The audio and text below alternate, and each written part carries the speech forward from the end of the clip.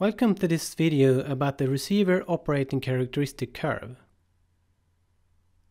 A receiver operating characteristic curve, or an ROC curve, is a graphical illustration that shows how the sensitivity and specificity change for a range of different cutoff values for a certain diagnostic test. For example, if we would use a cutoff value that corresponds to the following point, we would obtain a specificity of about 57% and a sensitivity of about 86%. In contrast, if we would use a cutoff value that corresponds to the following point, we would get a specificity of 100% and a sensitivity of about 71%. The x-axis of an ROC curve may be denoted differently depending on which software you use. Note that the scale of the x-axis of our previous plot goes from 1 to 0, whereas the x-axis in this plot goes from 0 to 1, where the x label is instead defined as 1 minus the specificity.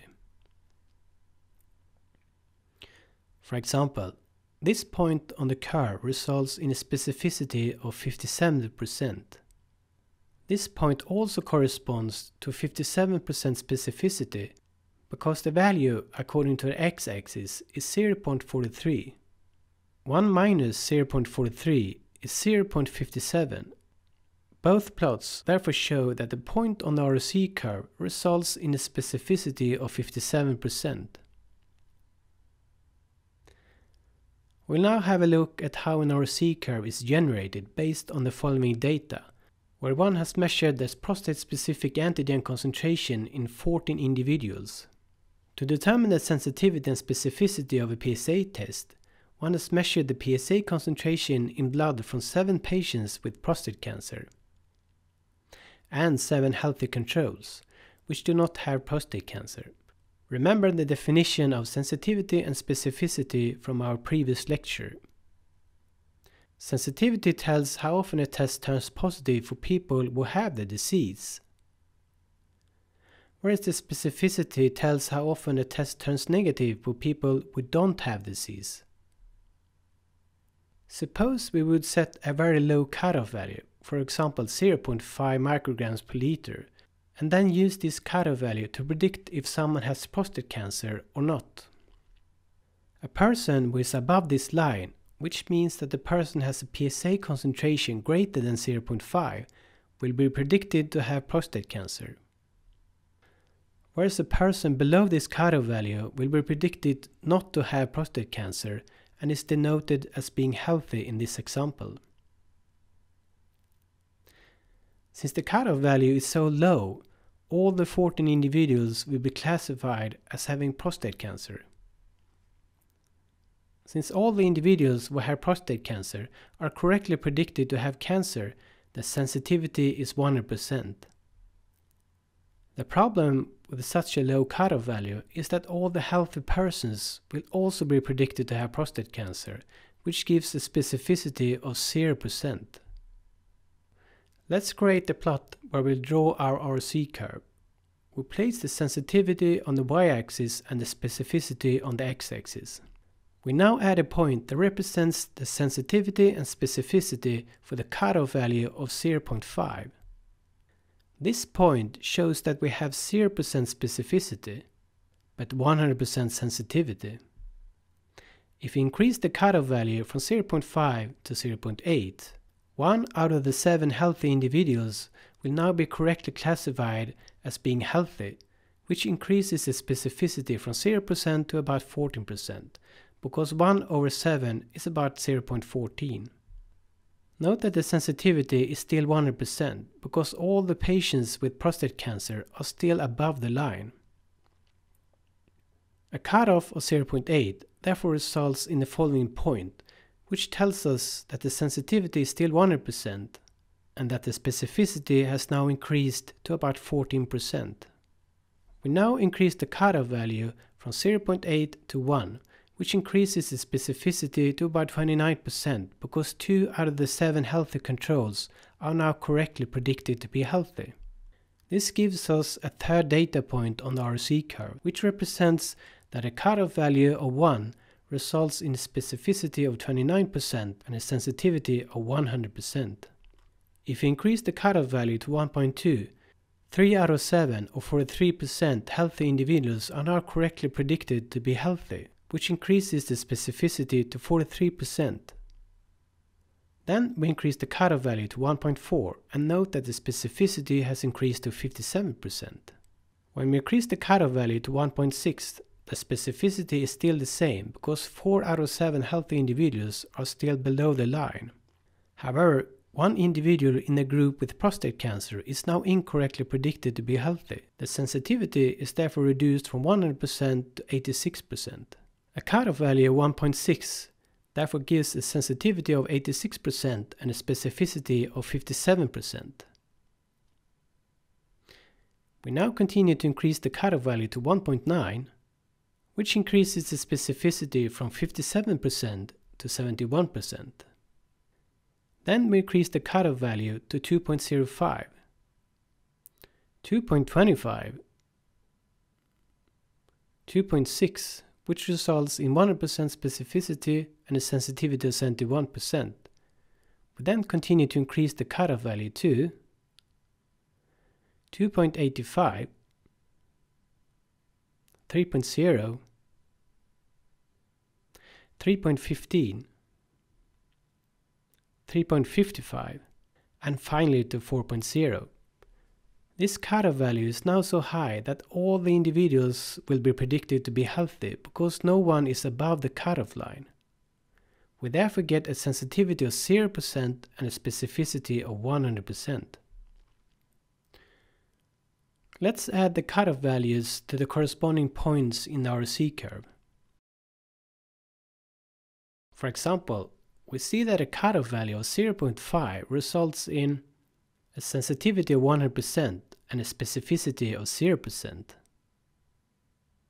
A cutoff value of 1.6 results in 86% sensitivity and 57% specificity. Note that when we increase the cutoff value, the sensitivity is decreasing, whereas the specificity is increasing.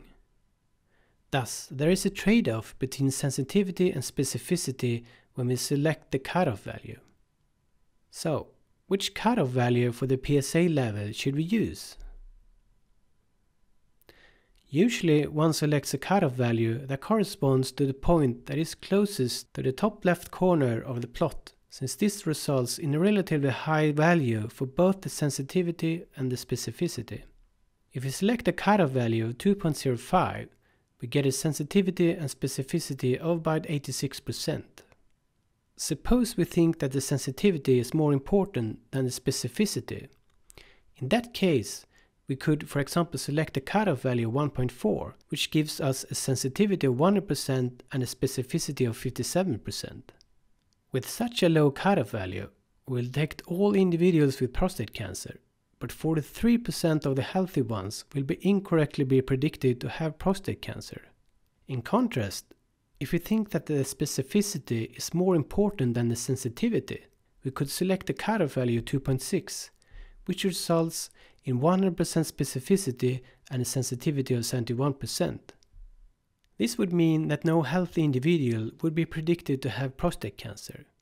On the other hand, 29% of the ones with prostate cancer will be incorrectly predicted to be healthy. The dilemma in selecting between a high sensitivity and a high specificity is more of an ethical issue that will not be discussed in this video.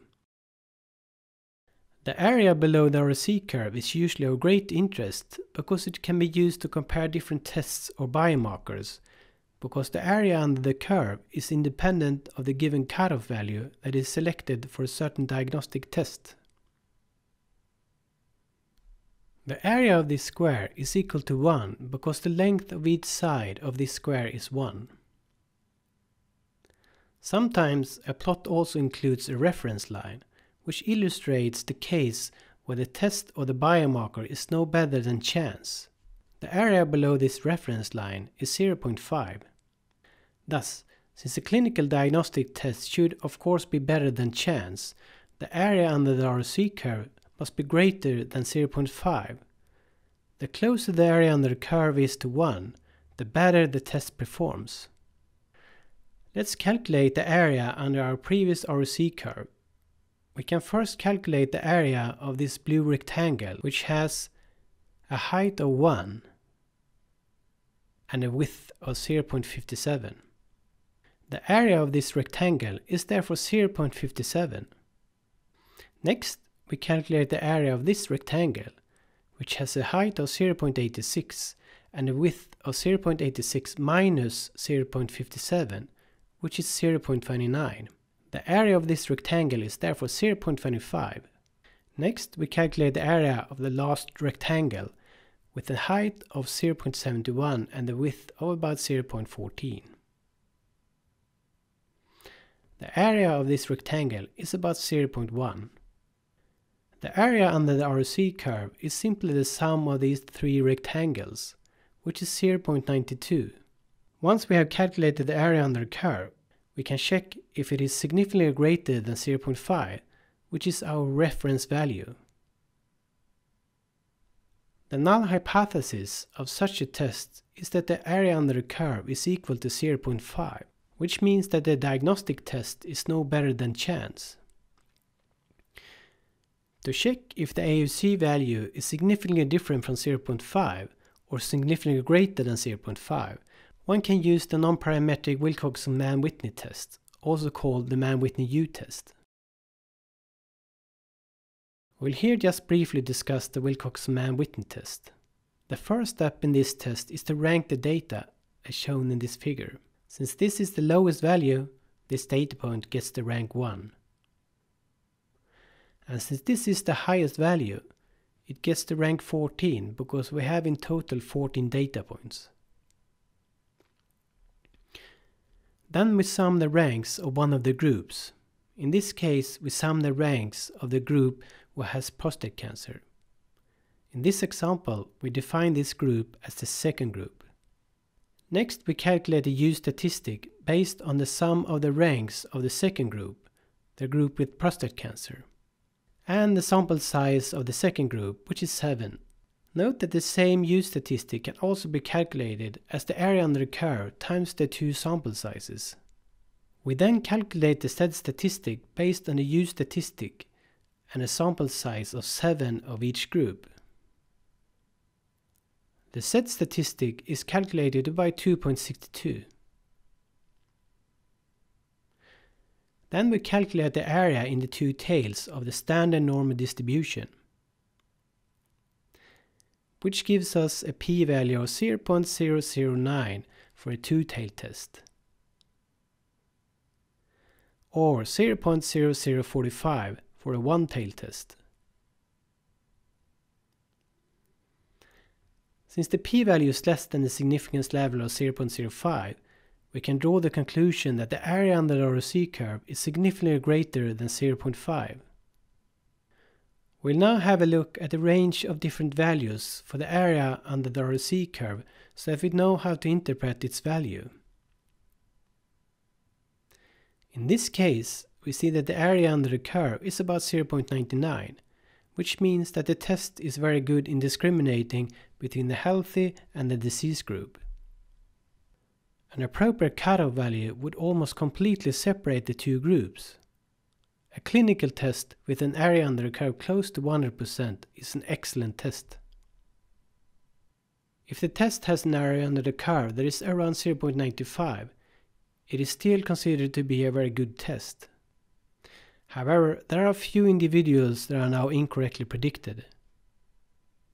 An area under the curve of around 0.8 indicates that this test can still discriminate quite well between the two groups. However, when the area under the curve is getting lower than 0.7, the test is considered as a relatively weak diagnostic test. The PSA test that is today used to detect prostate cancer has an area under the curve that is around 0.7 or lower. This is why the PSA test is not very reliable.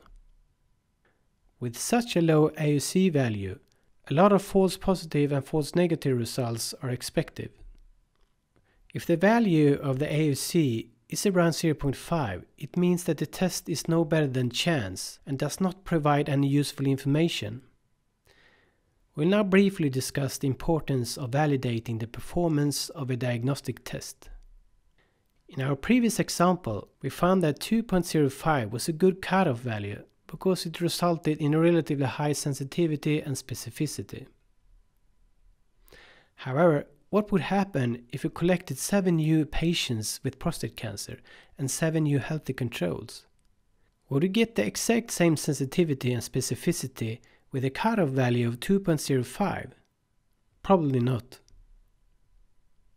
For example, let's say that we measured the PSA level of 14 new individuals and got the following observations.